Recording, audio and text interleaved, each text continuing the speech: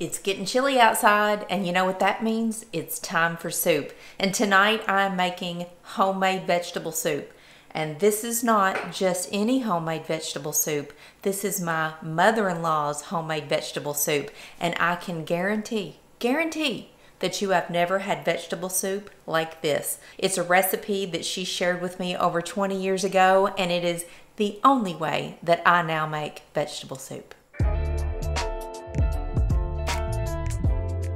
So hey there, welcome to my channel. I'm in the kitchen tonight because it's chilly outside and I want some homemade vegetable soup. It started to get cool outside last week and my husband said, Yep, yep, it's time for soup. And I said, you know what? You are right. So that's what I'm making tonight, and I cannot wait to share this recipe with you.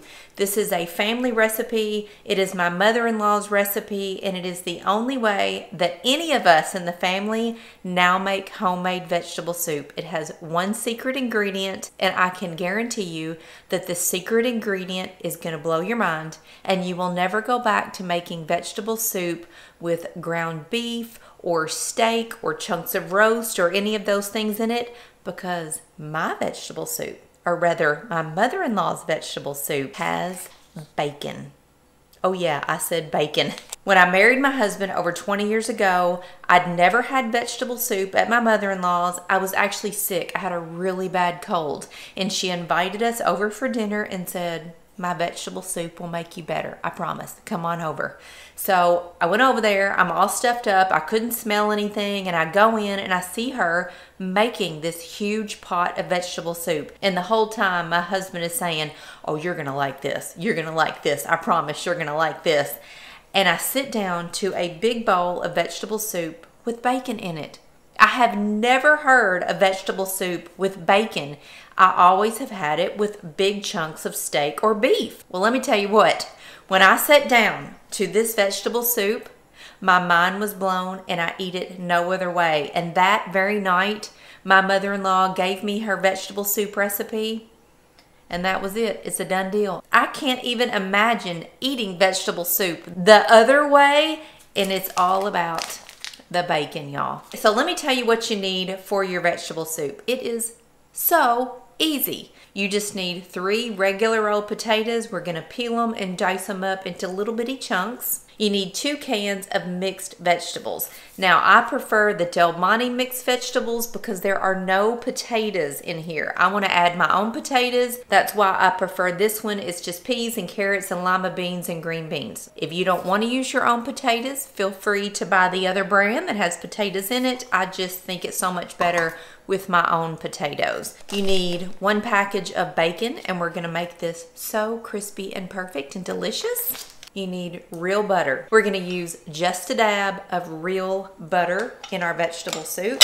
And vegetable soup is all about the tomato products you use. And I only use homemade canned tomatoes and tomato juice. I know, I'm spoiled. Most people do not have access to homemade canned tomatoes that were grown in a garden beside your house and you don't have the sweet mother-in-law that I do that cans tomato juice and actual tomatoes. I know this. So at your grocery store, you can simply get tomato juice. Make sure it has no salt or pepper or seasonings added to it. It's just 100% tomato juice. You're gonna need four cups.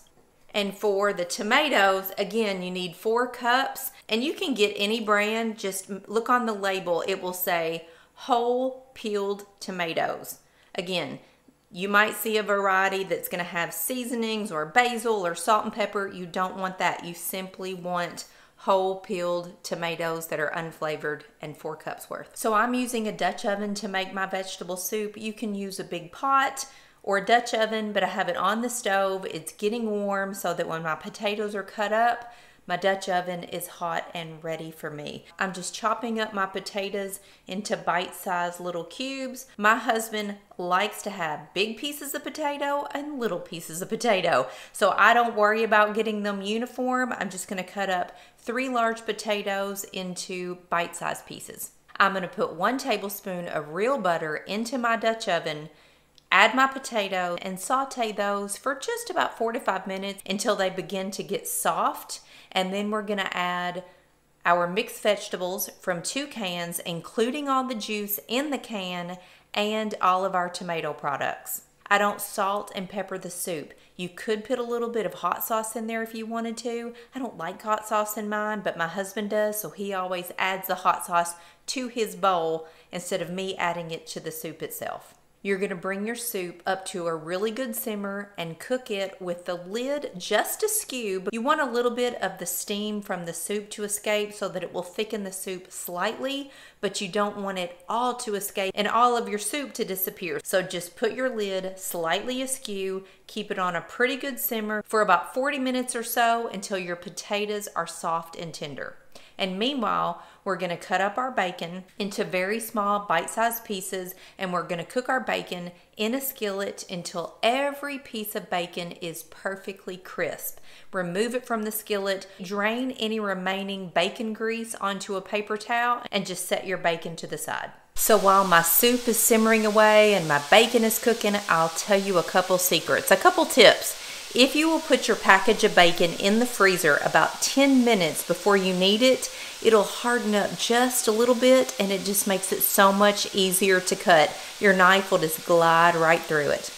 And after you're finished with your bacon, don't you dare discard that bacon grease. You better keep it and put it in your green beans. The next time you make green beans on your stovetop, a dab of bacon grease in your green beans, that is the secret. So this is my little container just for bacon grease. I've probably had this about 15, 16 years for sure, and it's empty. Every time we make green beans, the bacon grease goes in the green beans and we do it for cornbread too. So after I get all of my bacon out of the skillet, I'm gonna let the grease cool down just a little bit and I'm gonna fill up my little container. This is like liquid gold, you all. Liquid gold. So I'm waiting on my husband to get home. And like I said, this is going to cook for probably 45 minutes. The true test is when the potatoes are tender, just the way you like them. So when you get to that point, you're going to add your crispy bacon that you have removed from the bacon grease into the soup. Let it cook for another two to three to four minutes. The fantastic flavor from that bacon will work its way through the soup and then put it in a bowl and serve it. It is that simple. But I want to tell you something before my husband gets home. Because when he's home, I don't want to talk about him. I'll show you what he's doing. But everybody in my husband's family eats their vegetable soup with a certain side accompaniment. And it is not what you would think. It is something I have never to this day seen people eat with their vegetable soup but every single one of my husband's brothers and sisters, his mom, his dad, they all eat this with their vegetable soup. And back to my story when my mother in law invited me over for, for vegetable soup because I had a cold, and I sat down at the table with soup with bacon in it, which was a completely new thing to me to begin with. And then all my in laws started preparing their side dish I just sat there with my jaw dropped. It was such a sight. And to this day, they still eat this with their vegetable soup. It's just weird. It's something that I just can't eat with my vegetable soup.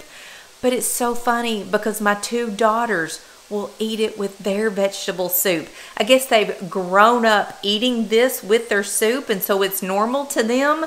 But to me, it's just a little bit strange. I have my own side thing that I want with my soup. And when my husband gets home and we sit down to eat our soup, I'm not going to say anything, but I'm going to show you exactly what he does or prepares to get ready to eat his soup. So let this simmer away. And oh my goodness, you should smell my house right now. I'm so excited. We don't make soup all summer long. We don't make soup in the spring. It is a fall and winter thing only. That's it. And so it's cooled down, and this is now soup season. And another thing my family does it's a terminology that you all need to know. You've probably heard me say it on my channel before, but it's called a match set. And what that means is there are certain meals that have matching desserts that you always have with the meal. Vegetable soup always has banana pudding. So when I went over to my mother-in-law's earlier this week to pick up the canned tomatoes and the tomato juice, she had actually made vegetable soup earlier in the week for her and my father-in-law. And of course she said, Are you making a match set with this, Renee? And I said, Well, we're eating low carb, so I really can't make the banana pudding. She's like, What in the world? She made a match set for her and my father in law the banana pudding, homemade banana pudding done the old school way. And certain meals that my in laws make, there's just a match set with it. So I'll have to share with you all one day how to make banana pudding, which is the match set always to vegetable soup. So my soup is ready, it's time to eat, and now we're gonna get out our fixings for the side of our soup. I'm somebody that just wants plain old crackers with a little bit of butter on them, but when I told you my husband and his family have a secret side dish accompaniment to their soup, and so he's gonna start preparing his plate for the soup. So this is what he does, but I wanna know from you in the comments below, what do you eat with your soup? Are you a regular cracker eater? Do you like oyster crackers? Do you like nothing? Like, tell me, what do you normally eat with your soup? Oh, something else I want to know from you about the match set. Do you want me to show you how to make old school banana pudding the old way in a double boiler? No pudding mixes, no cheats. The original, this is how you make really good banana pudding recipe. That's the match set for vegetable soup. And if you want me to show you how to do it, leave it in the comments and give this video a thumbs up because I enjoyed cooking with you. I hope you enjoyed cooking with me and YouTube loves it when you give a video a thumbs up. Mm, that is a hot bowl. So thanks for joining me in the kitchen. So now you know how to make my mother-in-law's delicious homemade vegetable soup. Let's eat.